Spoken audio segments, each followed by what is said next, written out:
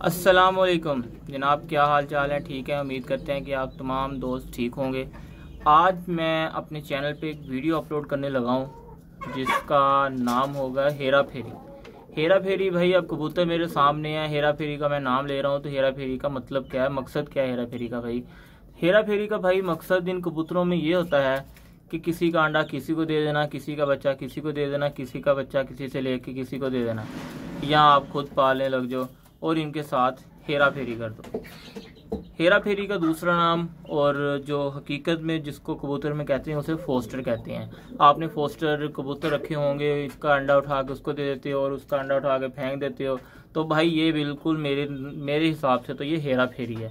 तो आज मैं आपको हेरा फेरी करने का तरीका बताऊँगा कि आपने कबूतर के साथ हेरा फेरी कैसे करनी है।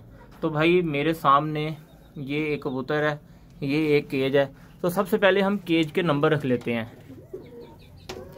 तो भाई नंबर वन जो मेरे बिल्कुल सामने है ब्लैक टेल रेड टेल और उसके बाद नंबर टू ये जो एक बॉक्स है सामने, ये नंबर टू हो गया।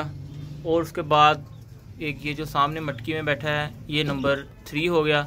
और उसके ऊपर है नंबर फोर अब मैं आपको स्टोरी बताता हूँ कि मेरे साथ हुआ क्या, कि इन सब केजेस में से एक मेरा जो नर था, वो मर गया।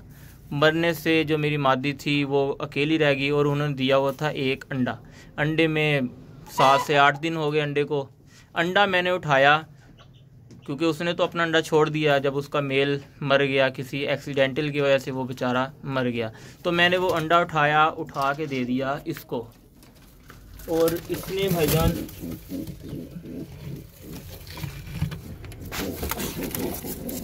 टाइम पूरा होते तक इसने भाई वो वाला बच्चा निकाल दिया। अब इसके भी दो अपने अंडे थे।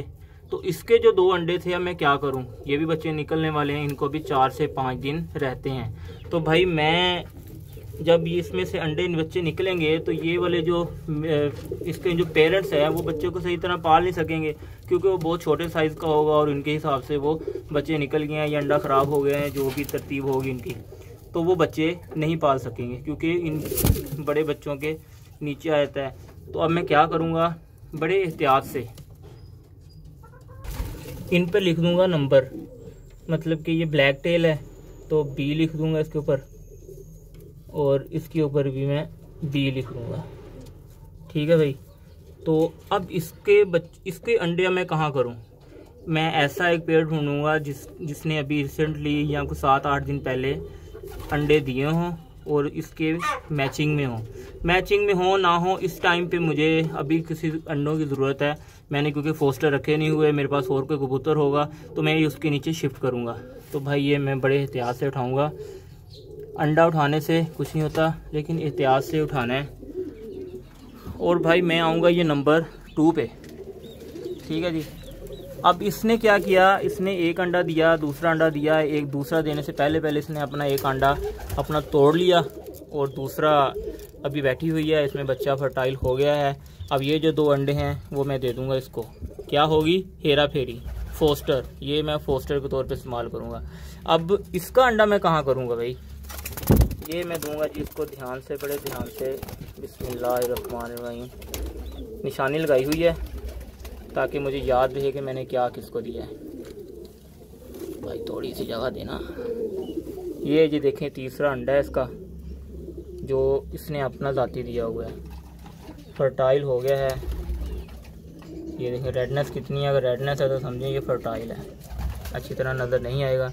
अब ये अंडा नंबर, जो दो अंडे हैं, वो नंबर वन से उठाए, नंबर टू का दिए, जिसके पास एक अंडा था। अब ये वाला अंडा मैं उठाऊँगा, उठा के दे दूँगा। नंबर तीन, वो जो मटकी वाला था। ये जी आ गया, मटकी वाला कबूतर। इसने ऑलरेडी दो अंडे दिए हुए हैं, माशाल्लाह। ये भी बड़े अच्छे बच्चे पालता है। इसको निकाला मैंने बाहर। और ये तीसरा अंडा पहले मैं निशानी लगाऊँगा। ये भाई इसको एहतियात से यहाँ पे रखता हूँ। माल कर लाता हूँ।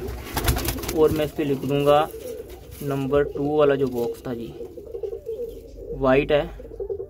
ये मैं साथ साथ में लिखता हूँ।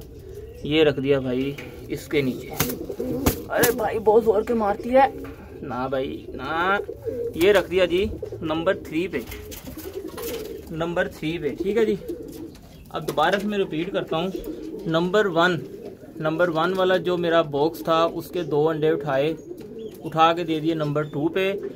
और नंबर वन को जो मैंने नंबर फोर वाला बॉक्स का जो बच्चा दिया था, अंडा दिया था, उन्होंने वो पहले निकाल लिया क्योंकि उसका टाइम पूरा हो गया था। अब इसके पास एक बच्चे हैं और जो इसके अंडे हैं वो नंबर टू में दे दिए। नंबर टू का अंडा दे दिया मैंने नंबर थ्री को।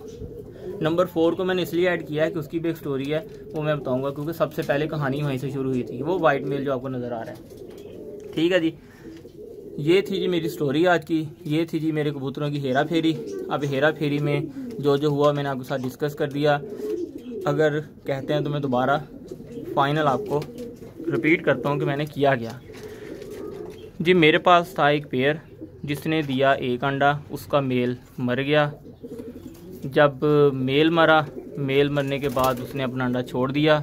वो जो मेल है सामने अब नया मेल मेल लेके आया हूँ ब्लैक टेल के साथ। वो अंडा मैं ज़ाया नहीं करना चाहता था। उसको दिया मैंने इनको, इनके ऑलरेडी दो बच्चे, दो अंडे थे। उनको टाइम अभी रहता था।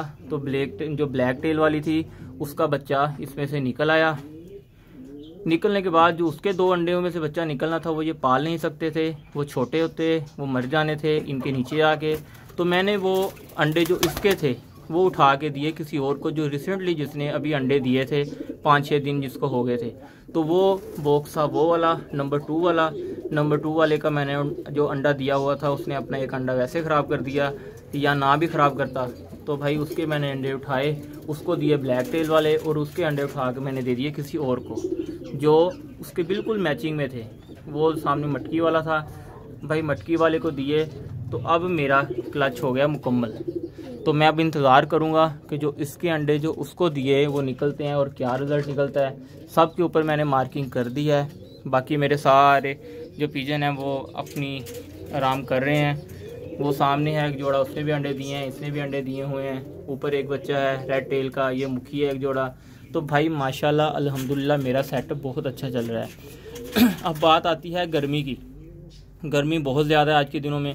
तो आप कोशिश करें कि अपने परिंदों को ज़्यादा से ज़्यादा ठंडक दें, पानी दें, विटामिन सी दें, उसके बाद इनको पानी मुहैया करें, डेली नहाएँ इनको। तो बड़ा बेहतरीन निज़ाम चलेगा इनका। तो जी, मेरे पास, मैंने अब देख रहा हूँ कि जी, ये जो हेरा फेरी मेरे साथ हो रही है, ये ये क्या हो गया भाई? ये जोड़ा ही लग गया ये तो। मुखी मेरा। अल्लाह अकबर। ये भाई लग गया लक्के के साथ। ये जो मेरे साथ बहुत ख़तरनाक बात है। मुझे लगता है ये तो बंडों पे है, लेकिन इसे मैं बहुत जल्द अलहदा करने वाला हूँ, ताकि भाई मेरा नुकसान ना हो। तो आपने आज की हेरा फेरी देख ली, वो अपने बच्चे को खिला पिला रही है। हेरा फेरी मतलब फोस्टर। मैं इसको दूसरा नाम यही दूँगा, हेरा फेरी। उम्मीद करता हूँ कि आपको तमाम वीडियो समझ लगी होगी। वीडियो थोड़ी सी लेंथी हो गई है, क्योंकि समझाने वाली वीडियो थी। मेरी वीडियोस बहुत छोटी छोटी होती हैं, जिसमें मैं आपको आसानी से समझा सकूँ। तो मैं आपसे इजाज़त चाहता हूँ, मेरे चैनल को सब्सक्राइब कर दें लाइक कर दें शेयर कर दें, ताकि मैं आपको वीडियो दिखाता रहूँ, मेरी हौसला अफजाई होती रहे। ये मैंने परिंदे जितने रखे हैं, अपने शौक़ के लिए रखे हैं। अगर कोई ये शौक़ मुझसे लेना चाहता हो तो जनाब, हम हाज़िर हैं, अपना शौक़ आपको देंगे। सिर्फ़ और सिर्फ़ फैंसी पिजन ना हम करते हैं बाजी, ना हम करते हैं कोई आवारा गर्दी इसके साथ, ना करते हैं इनको उड़ाने का सुन ये रखे हुए हैं भाई, अल्हम्दुलिल्लाह, माशाल्लाह, खूबसूरती के लिए। वीडियो थोड़ी और ज़्यादा लंबी हो गई है। मैं भी मौलवियों की तरह आपको कही जा रहा हूँ कि भाई थोड़ा और थोड़ा और थोड़ा और। तो जजाकल्ला अल्लाह हाफिज़।